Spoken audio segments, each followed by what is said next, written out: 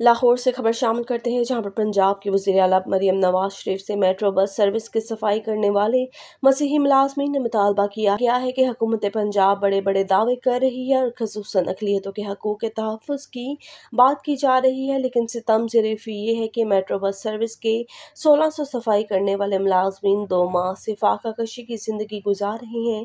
انہیں دو ماہ سے تنخواہیں نہیں ملیں اور وہ انتہائی مشکل کی زندگی گزارنے پر مجبور ہیں۔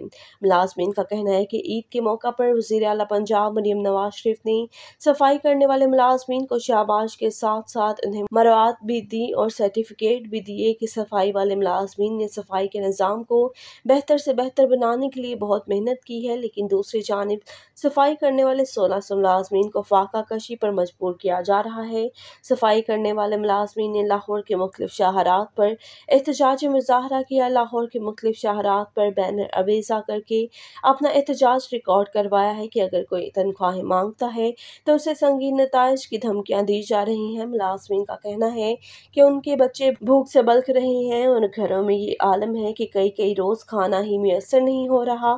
وزیر اعلیٰ پنجاب اور میٹرو بس سروس کے ذمہ داران فوری طور پر ملازمین کی تنخواہوں کی فراہمی کو یقینی بنائیں۔ ملازمین کا کہنا ہے کہ اگر انہیں بر وقت تنخواہ دی جائے تو یقیناً یہ پنجاب حکومت کا احسن اقدام ہوگا۔